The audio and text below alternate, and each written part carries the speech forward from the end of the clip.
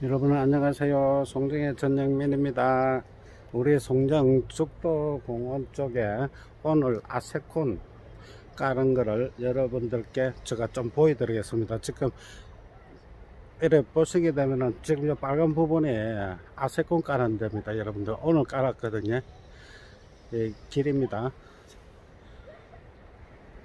자 여러분들 이 아세콘 깔아놓은 거를 한번 보십시오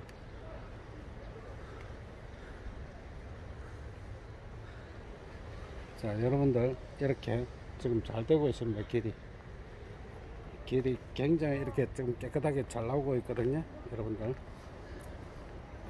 요거는 배수로입니다 여러분들. 요거는 지금 물 나가는 배수로고요. 자.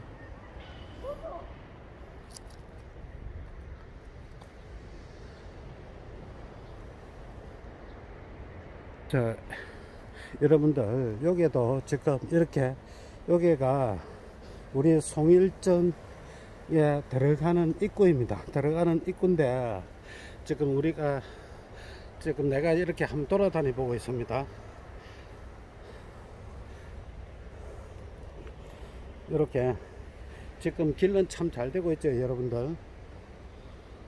자, 한번 더 보, 보겠습니다.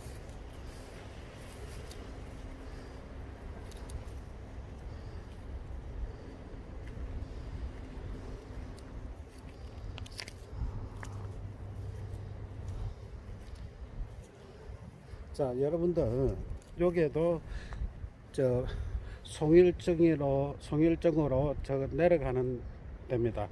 자 송일정 대에서 여러분들께 이야기를 좀 한번 해보겠습니다. 지금 송일정에는 지금 한참 공사 중입니다. 공사 중인데 지금 맞춤 돌이 있어 가지고 아마 이달 15일 정도 되면 돌을 붙이게 될 겁니다. 아직까지는 공사가 마무리 단계가 아닙니다 여러분들. 자 팔각정 한번 보여드릴까요? 저도 지금 안에 들어가지는 못합니다. 밑에 길가에 지금 아세콘을 깔아 놔 가지고 아세콘을 깔아 놔서 내일 아침까지는 좀 불가합니다. 내일 아침까지는. 그래서 지금 내가 지금 산에 다니면서 촬영을 하고 있습니다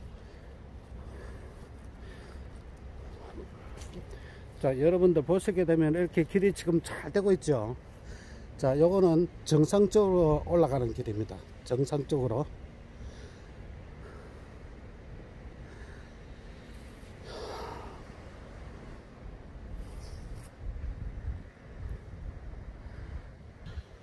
여러분들 제가 어, 여기에 또 공사가 마무리 되기 전에 마무리 되기 전에 한 번 더 영상을 하도록 하고요.